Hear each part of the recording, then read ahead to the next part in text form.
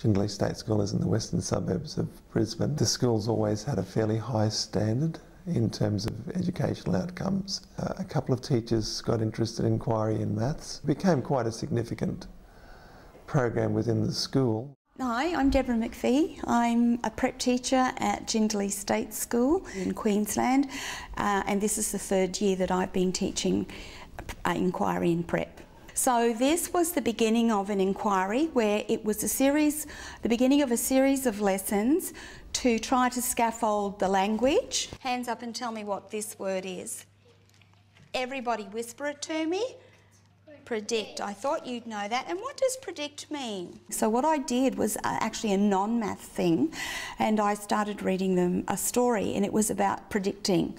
So because I think they've had a lot of experience with reading stories and making predictions and hearing that word predict, that that would be a link between um, that and their maths. Who can predict the story? Sophie? Um, they might eat um, all the fish and there'll be no more left. You think they'll run out of fish? You know what? That's a great prediction. I like that answer. I wanted children to be thinking about prediction and I wanted them to use some data that they had collected to make predictions that would help them um, in the next lot of data that they were collecting.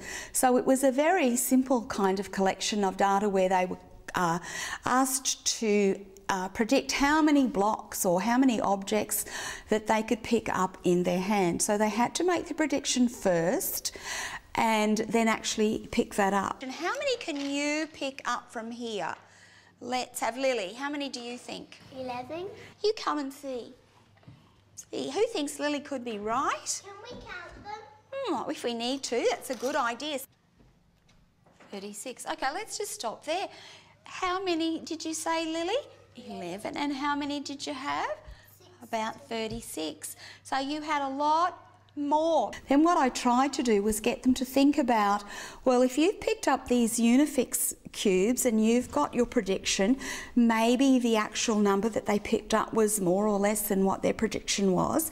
But then I wanted them to think about that so that when they went to pick up some other um, items that might have been a different size or a different shape, that they might be able to make determinations as to how those variables would influence their prediction and influence how many they could actually pick up. Fantastic. What about you, Sophie? Did you make a prediction? 36. Was that your prediction?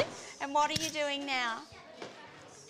Counting them. Counting them to test. So they have to be able to develop methods that communicate their mathematical thinking um, through that literacy of maths. And some of the children thought that it would be a good idea to um, write that information down. So they, they can use what I call invented recording. I don't necessarily ask them to use standard recording. I usually don't teach them standard recording.